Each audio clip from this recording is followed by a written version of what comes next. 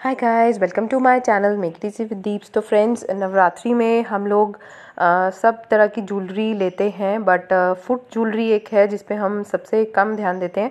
तो मेरी आज की वीडियो में मैं लेकर आई हूँ ये क्यूट सी फुट एसेसरी या फुट ज्वेलरी तो बनाना शुरू करते हैं लेट्स मेक इट ईजी तो इसके लिए जो सबसे पहले मैंने लिए हैं ये छोटे छोटे पिंक कलर के बीड्स ये बड़े साइज़ में गोल्डन बीड्स उसी तरह के छोटे गोल्डन बीड्स हैं।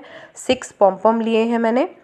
थ्री डिफरेंट कलर्स में और एक ये वूल लिया है ये थोड़ा पतला वूल है नॉर्मल जो वूल हम लेते हैं उससे थोड़ा थिन है। ये दो निडल्स ले रही हूँ मैं डिफरेंट साइजेस की फॉर डिफरेंट वूल और सिज़र ये black wool then we need these kind of golden beads again शुरू करते हैं। तो सबसे पहले ये मैंने uh, इस धागे में निडल डालकर और ये छोटे वाले जो पिंक बीड्स हैं वो मैं इसमें डाल रही हूँ।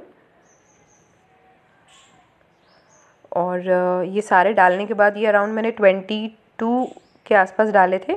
तो आप अपनी जो फिंगर है, उसके साइज़ के अकॉर्डिंग आप कम या ज़्यादा कर सकते हैं बट नॉर्मली यही साइज़ जाता है। अब मुझे निडल चेंज करनी पड़ेगी बड़ी वाली, क्योंकि मुझे दोनों वूल के सिरे जो हैं, वो एक ही साइड पे डालने हैं। और अब इसमें मैं डाल रही हूँ ये golden beads and now I will put all the pom poms तो इसके जो कलर्स हैं, वो कम्प्लीटली आप अपनी चॉइस पे ले सकते हैं। मैंने ग्रीन येलो और पिंक लिया है, क्योंकि सभी फेस्टिव जो ड्रेसेस होती हैं, हमारे चनिया चोली, घघरा, उनके साथ ये सब तीनों कलर्स जाते हैं। You can add red and orange also if you want और अब मैं जैसे ये दो मोती और मैंने डाले, और दो साइड्स पे मैं इसको डिवाइड कर दूँगी। अब मैं डाल रही हूँ एक बड़ा मोती और एक छोटा। गोल्डन कलर में ही।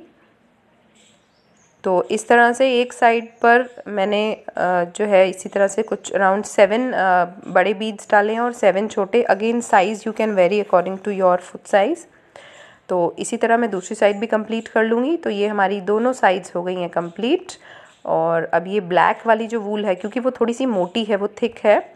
इसलिए जो पीछे टाई करने के लिए मुझे ये लगाना है। So that the this accessory or this jewelry remains strong when you wear it during the uh, dandiya और गरबा तो ये टाइट सा नॉट मैं बिल्कुल मोती के पास में ही लगाऊँगी ताकि ये पिंक वाला थ्रेड विजिबल ना हो और एक्स्ट्रास को मैंने कट कर दिया।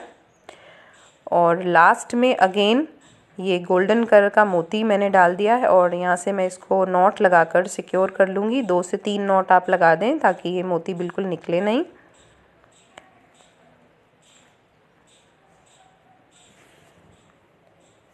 और इसमें भी एक्स्ट्रास जो है मैंने काट दिए हैं और ये रेडी हो गई है हमारी सुंदर सी फुट एसेसरी या फुट ज्वेलरी सो गाइज़ अगर आपको ये वीडियो पसंद आया तो please give it a thumbs up and don't forget to subscribe to my channel thank you for watching